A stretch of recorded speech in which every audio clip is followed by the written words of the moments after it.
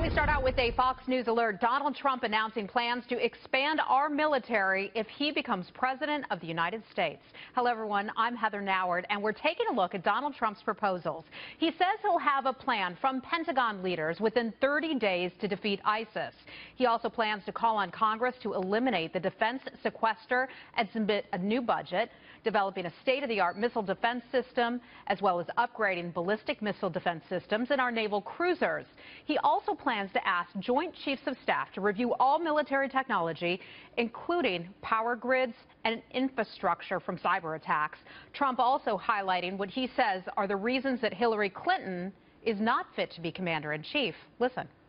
Sometimes it seemed like there wasn't a country in the Middle East that Hillary Clinton didn't want to invade, intervene in, or topple. She's trigger happy and very unstable.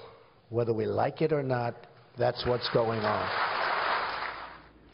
Amber Smith is a former U.S. Army helicopter pilot and author of Danger Close, My Epic Journey as a Combat Helicopter Pilot in Iraq and Afghanistan.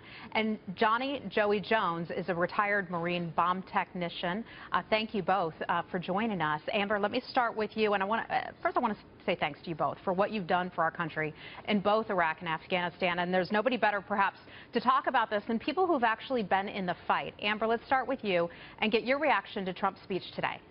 Well, I saw commander-in-chief material right there. I saw a leader who cares deeply about our military, who cares about rebuilding it to levels that is not hindering our military and national security. Uh, over the past eight years, the military has been slashed to pre-World War II levels. And so that's asking to do our military, men and women in uniform, to do more with less.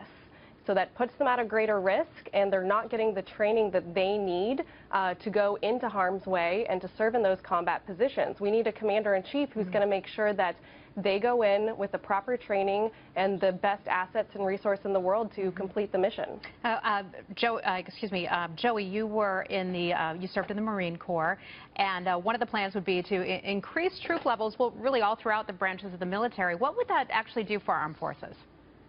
Well, first as a Marine, uh, boot camp is all about doing more with less. So I'm not directly opposed to that. But what's going on with our military right now is an arbitrary sequestration. It's a tool that Jay Carney brought to light in a press conference the, uh, and really pinned it on the administration.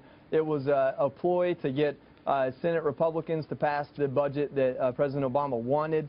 And it, it is hurting our military. Um, but, you know, what this will do, if Donald Trump gets in office, I don't need a 10-point plan, a 20-point plan. I need a three-point plan. And I'm here in Austin. I've got Karl Rove uh, whiteboard with me. We need a goal, we need a strategy, and then we need to talk about how to pay for it. All right. Well, and that's what we need. I love that whiteboard right there. That's fantastic. Good for you. Uh, Amber, let me ask you about some of those things right there, because I bet you'll agree that we need a goal. Uh, Donald Trump says that he will have a plan from our military officials to defeat ISIS. Well, it's not to defeat ISIS within 30 days, but wants a plan within 30 days. Is that realistic?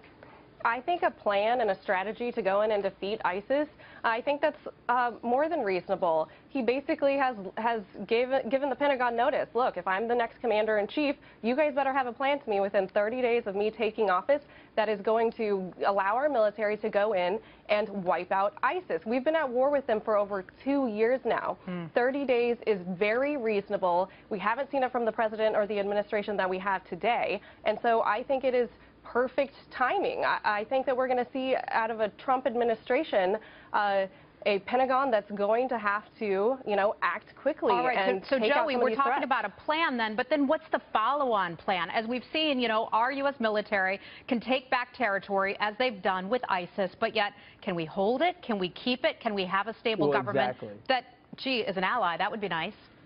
Well, you know, and this is where we're in the middle of a presidential election, so I get it. We have to make promises that gets people to the ballot box. Quite honestly, I don't care about 30 days. I don't care about complete removal of sequestration. What I want to know is what is our goal before my brothers and sisters go back over there, because I think they'll have to in order, uh, they're already there, but I think more of them will have to go. Before we get into all of that, what is the goal? What are we going to accomplish? We, we went and took out Saddam. We left the void. ISIS is there for two administrations, and this week for 15 years, we've been at war, and I don't know if we've ever had a clearly defined goal of what we're trying to accomplish, or at least one we stuck with. So what I want to see from Donald Trump, and I'm not saying he's not doing it, I'm saying I'm not focused on if this happens in 30, 60, or 90 days. I'm focused on is it a sustainable goal and is it a strategy that however long it takes to put together is something that will last and something that makes sense for that region. All and right. if we see those things, let's pay for it. I'm all about it. And pay for it too. Uh, let's listen to a, a bit of Donald Trump's speech from earlier today in which he's talking about classification. Hillary Clinton has taught us really how vulnerable we are in cyber hacking. That's probably the only thing that we've learned from Hillary Clinton. One of the first things we must do is to enforce all classification rules and to enforce all laws relating to the handling of classified information. Hmm. I guess and not just do it selectively. Amber, your reaction to that?